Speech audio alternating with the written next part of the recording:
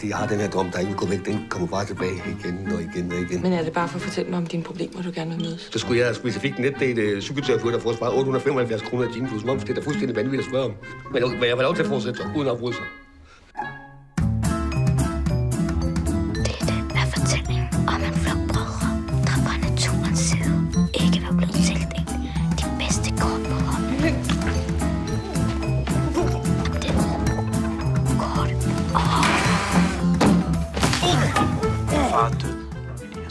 Han efterlod os et videobånd, som vi bliver nødt til at se. Til far, hvad det var for en film, han havde lejet.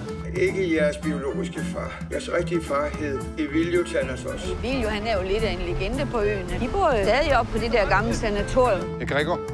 Hans søn. Ja, jeg, jeg er også hans søn. Ja, humoren, den er sådan lidt en til en her, her på øen. Din bror jo. Ja, kan du så høre? Men jeg vil gerne tale med vores far nu. Og så vil jeg køre os til et hospital. Hvor er det rart at se, at I har fundet ud af, drenge. En familie, den skal holde sammen. Hvis du rører første ting en gang til, så rører du direkte i fuld. Tosset op i hovedet. Ja, det ved jeg godt. Hold kæft, hold kæft, hold kæft, hold kæft! Hvad fanden er der galt med jer? Bare lad ham rulle. Spiller videre. Kom, så lund. Frans slog Karl der, den der udstoppede rev. Som jeg hørte, så stopper Frans og Karl. Fuldstændig lige gående. Karl er fire år gammel. Nå, skal vi se nogle tøsser?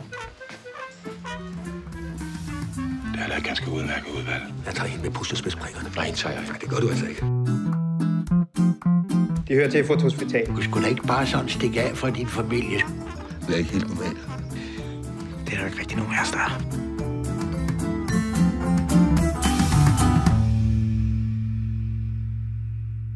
Det er jo vant til at lægge æg, skal du tænke på.